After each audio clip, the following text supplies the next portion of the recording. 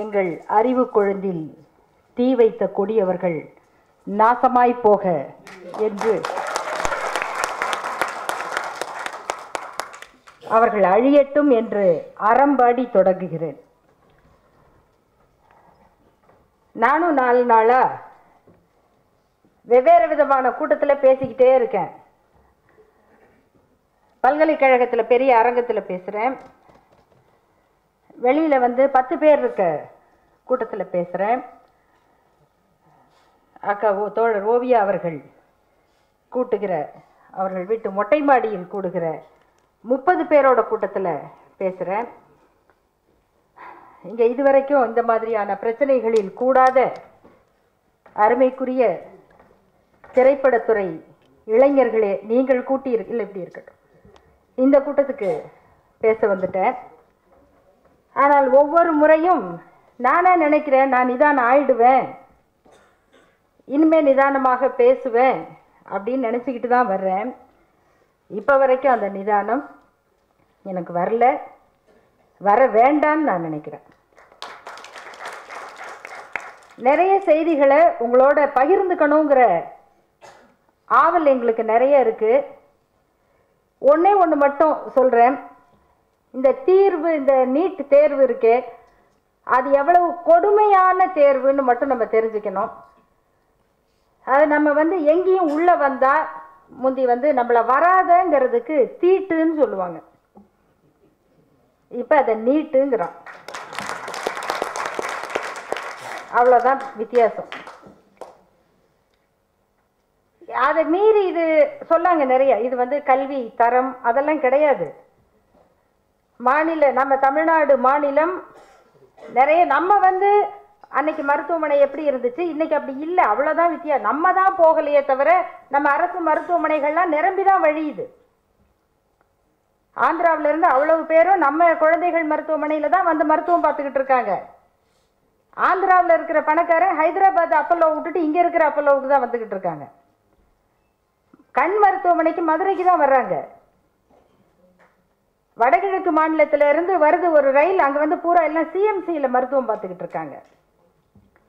என்ன இந்த தமிழ்நாடு தரத்தில் குறைஞ்சு போயிருச்சு? தமிழ்நாட்டை தாண்டி ரயில் ஏறி பாருங்க தெரியும்.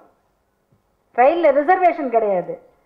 ரிசர்வ் பண்ண பெட்டியில் நம்ம தைரியமாக தைரியமா போக முடியாது. எவன் வேணா வந்து உட்காந்துக்குவான் நாங்க ஒரு குழந்தை இறந்தால் துடிச்சு அந்த மருத்துவமனை முற்றுகையிடுறோம் இன்னைக்கு வரைக்கும்.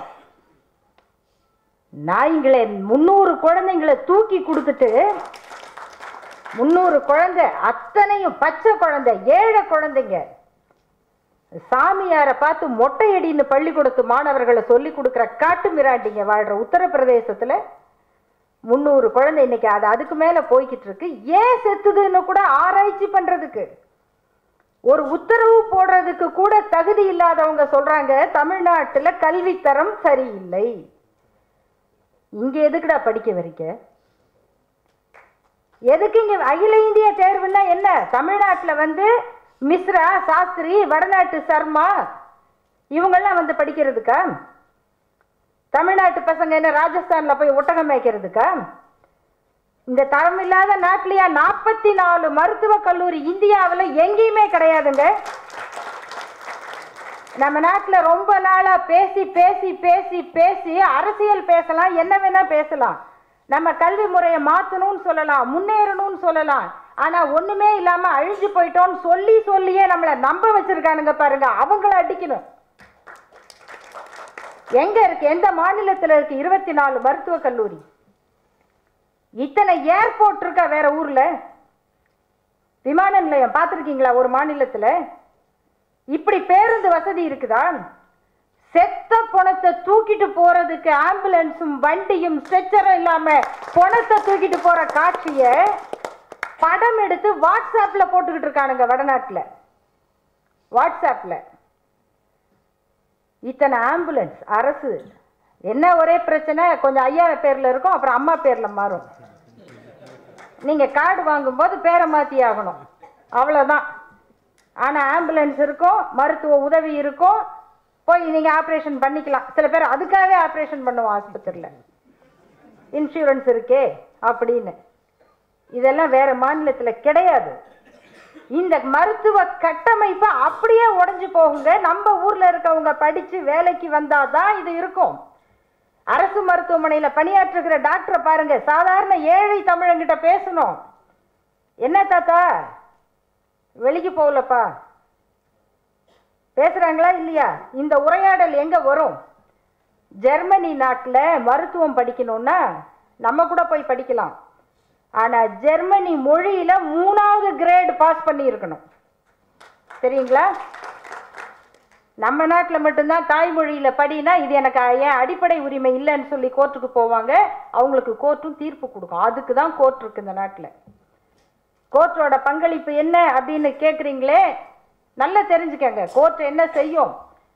எப்பயுமே நம்மளுக்கு வந்து கோயிலுக்கு போனாலும் செல்லாது கோர்ட்டுக்கு போனாலும் செல்லாது.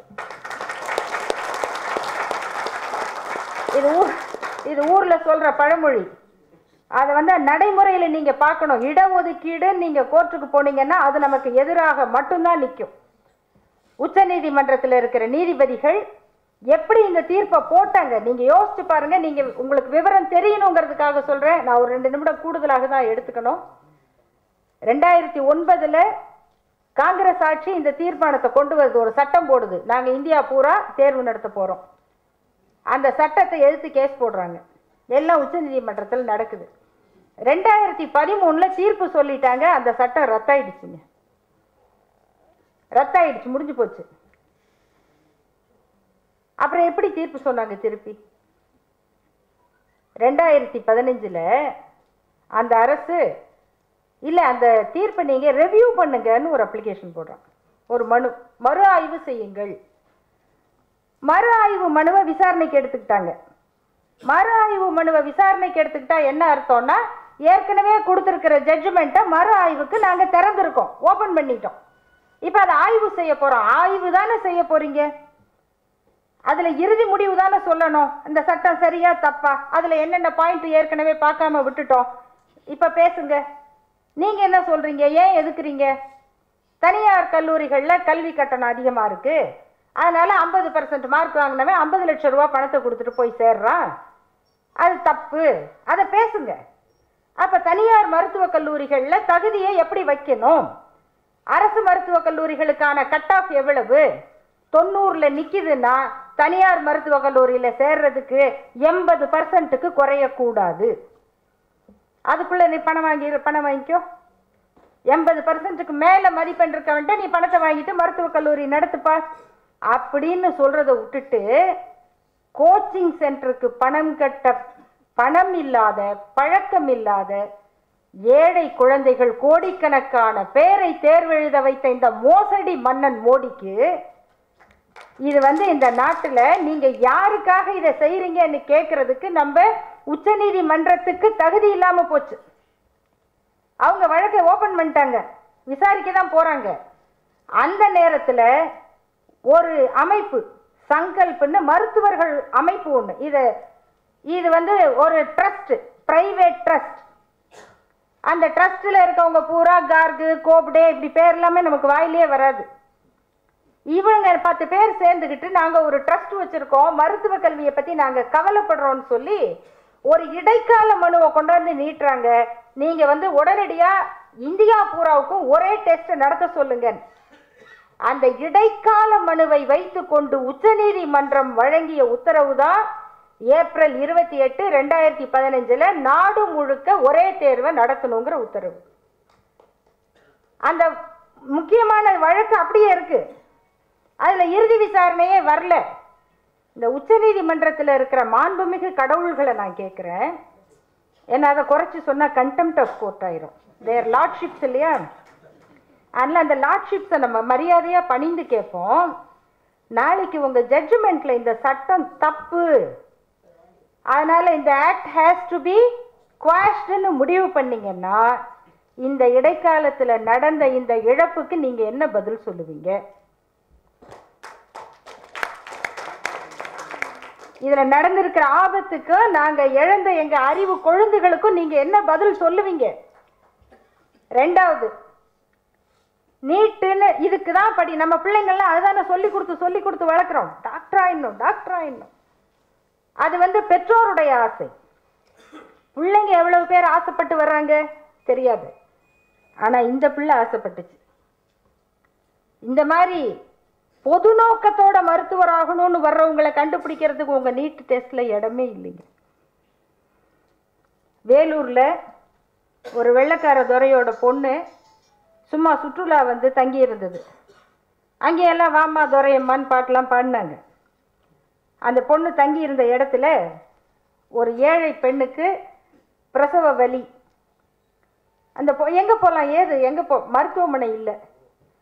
அந்த பெண் செத்து போயிட்டான் அதை பார்த்து துடித்த அந்த வெள்ளைக்கார பொண்ணு ஊரில் இருந்த சொத்தெல்லாம் எடுத்துக்கிட்டு வந்து ஒரே ஒரு ஒற்றை படுக்கையோட தொடங்கிய மருத்துவமனை தான் வேலூரில் இருக்கிற சிஎம்சி அந்த பொண்ணோட பேர் தான் ஐடாஸ் கடர். அவங்க பேரில் தான் அந்த மருத்துவமனை. இன்னைக்கு இப்படி விரிஞ்சு நிற்கிது அந்த சிஎம்சி தான் இன்னைக்கு தன்னோட எதிர்ப்பை பதிவு செஞ்சுருக்குது. நாங்கள் நீட் அடிப்படையில் போட மாட்டோம். டாக்டர் முத்துலட்சுமி நமக்கு தெரியும். தமிழ்நாட்டினுடைய முதல் பெண் மருத்துவர். அவங்க அக்காவுக்கு புற்றுநோய். அன்னைக்கு சென்னையில் புற்றுநோய்க்கு மருத்துவம் பார்க்கறதுக்கு மருத்துவமனை இல்லை. அந்த அக்கா இறந்துட்டாங்க. நம்ம அக்காவுக்கு நடந்ததை போல இந்த தமிழ்நாட்டில் பெண்களுக்கு நடக்கக்கூடாதுன்னு அவங்க உருவாக்குனது தான் நம்ம அடையாறு கேன்சர் ஆஸ்பத்திரி திடீர்னு குடும்பத்துல பாதிக்கப்பட்ட பொண்ணுங்க வெளியில வராங்க. எங்க போறதுன்னு அவங்களுக்கு இடம் தெரியல. அவங்க உருவாக்குனது தான் அடையாறுல இருக்கிற அவ்வை இல்லம். அந்த ஐடாஸ்கடை உருவாக்குன ஒரு சிஎம்சி மாதிரி டாக்டர் முத்துலட்சுமி உருவாக்குன ஒரு கேன்சர் மருத்துவமனை மாதிரி தன் தாய்க்கு மருத்துவ உதவி இல்லாமல் இறந்து போன அந்த அரியலூர்ல ஒரு மருத்துவமனையை உருவாக்குகிறேன் என்று நினைத்த அந்த ஒரு குழந்தை தெரசாவை நீங்கள் கொண்டுட்டீங்க பாவீங்களே. இதுக்கு வந்து ஒரு ஒரு உயிர் இல்லை. இன்னும் ஓராயிரம் பேரை நாங்கள் காப்பாற்றணுங்கிற பதட்டம் இன்னைக்கு வந்து பத்திக்கிட்டு இருக்கு. இதுக்கு இன்னொரு காரணம் என்ன தெரியுமா? இந்த தேர்வில் மதிப்பெண் முறை இருக்கு பாருங்க. இந்த சில பேர் வந்து கொடூரமானவங்க. கொடூரமாக சும்மா சொல்லலைங்க யாரும். எவ்வளவு கொடூரமானவங்கன்னா அவங்க ஒரு துறையில் வந்துட்டாங்கன்னா அதுக்குள்ள மற்றவன் வராமல் பார்த்துக்குவாங்க உனக்கு படிப்பு வராது உனக்கு பாட்டு வராது உனக்கு டான்ஸ் வராது உனக்கு கலை வராது வராது வராது வராது. இதையே தானே கேட்டுக்கிட்டு வந்தோம் நம்ம. அதை உடைச்சி தானே இவ்வளவு பேர் வந்திருக்கிறோம். எங்களுக்கு வரும். எங்களுக்கு தெரியும். அப்படிதானே இன்னைக்கு நிரூபிச்சுட்டு வந்திருக்கிறோம். அப்படி வர்றவங்கள ஒழிக்கிறதுக்கு என்ன தேர்வு?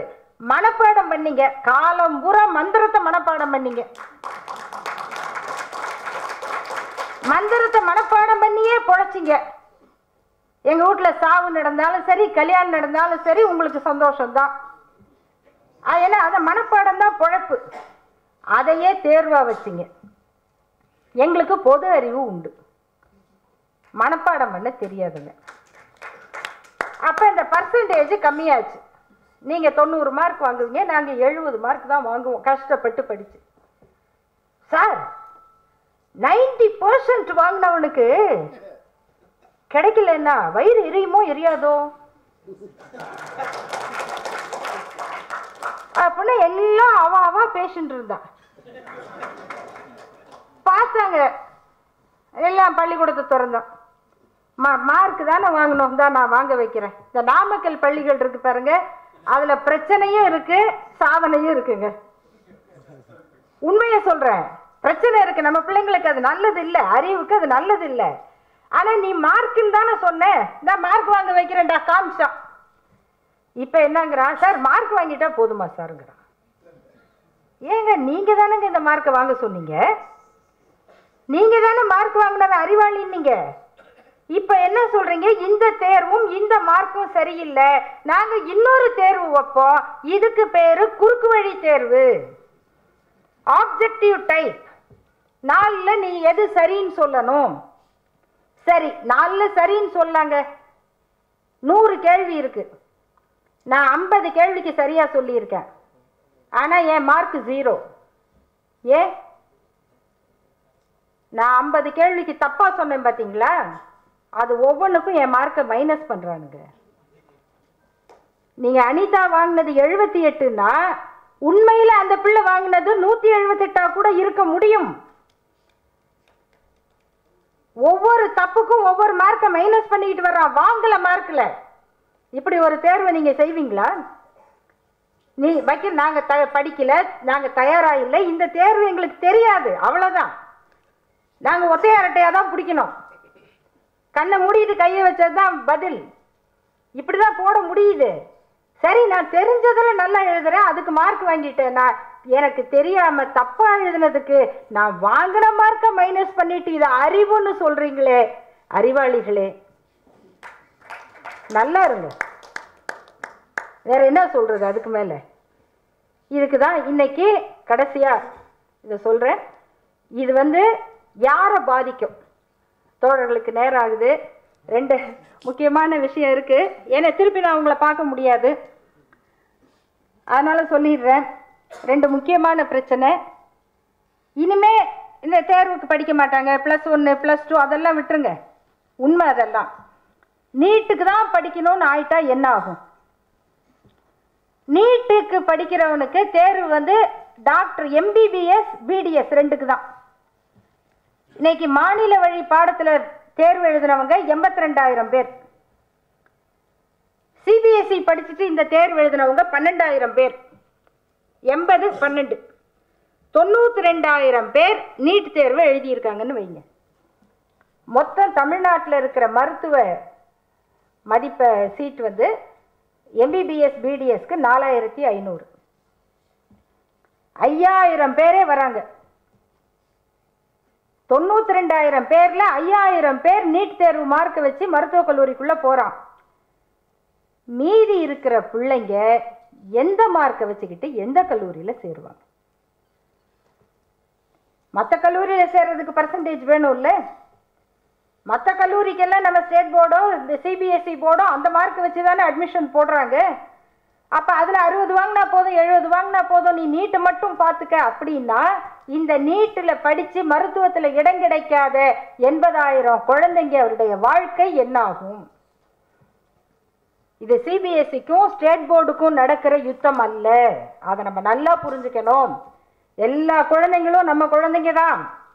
ஆனா சிபிஎஸ்சி படித்தாலும் நீங்க மூணு லட்சம் அஞ்சு லட்சம் கொடுத்து கோச்சிங் கிளாஸ் போனாதான் முடியும்.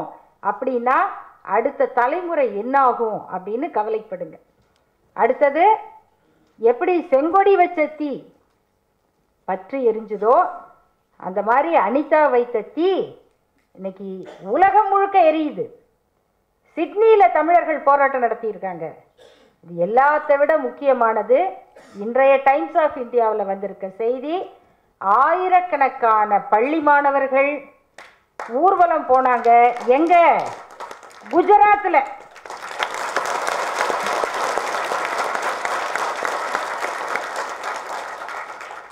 பெரியார் குஜராத்துக்கு போயிருக்கார். இந்த குழந்தை அனிதா பெரியாரை குஜராத்துக்கு கொண்டு போயிருக்கிறாள். இனிமேல் மோடி எங்க போவார்னு பார்ப்போம். வணக்கம்.